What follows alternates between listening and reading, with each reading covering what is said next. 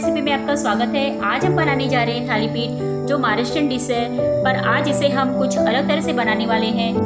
थाली पीठ बनाने के लिए आज हम ककड़ी का इस्तेमाल करने वाले हैं। ककड़ी थाली पीठ बनाने के लिए मैंने 250 ग्राम ककड़ियाँ ले ली है। अब हमें इसका छिलका निकालकर इसे कद्दूकस कर लेना है।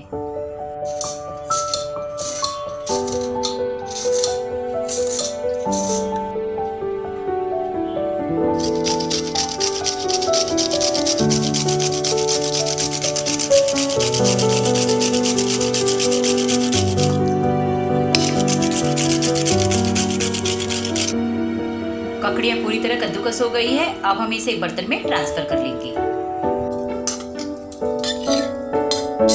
अब हमें लहसुन, मिर्ची, अदरक और कड़ी पत्ता को हमें मिक्सर में पीस लेना है। अदरक, लहसुन, कड़ी पत्ता और मिर्ची का पेस्ट तैयार हो गया है। आप इसमें हरी मिर्च ना डालना चाहे तो लाल मिर्च का भी इस्तेमाल कर सकते हो। और अब हमें कद्दूकस किए हुए ककड़ियों में ली गई सारी सामग्रियों को डालकर अच्छे से मिला लेना है।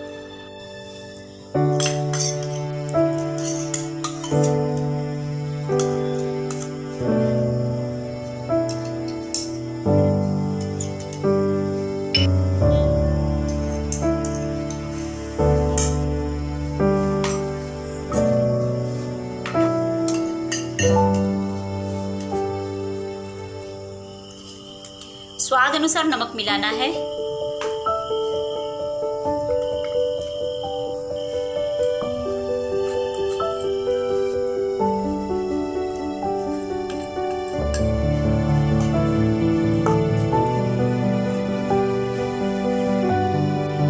सारी सामग्री इसमें अच्छे से मिल गई है। अब इसमें हम थोड़ा पानी डालकर इसे पतला बना लेंगे। इसका हमें मीडियम पेस्ट बनाना है।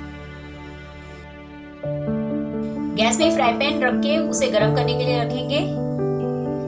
फ्राई पैन गर्म हो गया है, अब हम इसमें तेल लगा लेंगे। फ्राई पैन में अब पेस्ट डालकर हम इसे अच्छे से फैला लेंगे।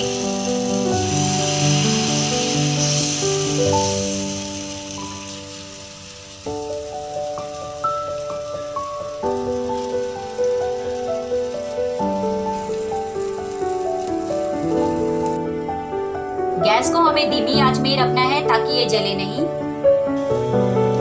अब इसके ऊपर हम थोड़ा तेल डाल देंगे और दोनों तरफ़ से अच्छे से सेकने के लिए रखेंगे। एक तरफ़ से अच्छे से सीख गया है, अब हम इसे पलटकर दूसरे साइड भी अच्छे से सेक लेंगे। इसमें से बहुत अच्छी सुगंध आ रही है, ये खाने में भी उतना ही टेस्टी है। आप इसे ज़रूर बनाइए और मुझे बताइए ये आपको कैसे लगी। दोनों साइड से सीख गई है, अब हम इसे प्लेट में निकाल लेंगे।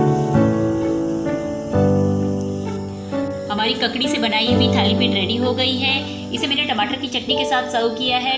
टमाटर की चटनी के साथ ये बहुत टेस्टी लगती है। इसे आप अन्य चटनी के साथ भी खा सकते हैं। आपको मेरी रेसिपी पसंद आई होगी तो मेरे चैनल को सब्सक्राइब लाइक शेयर अथवा कमेंट्स कीजिए। धन्यवाद।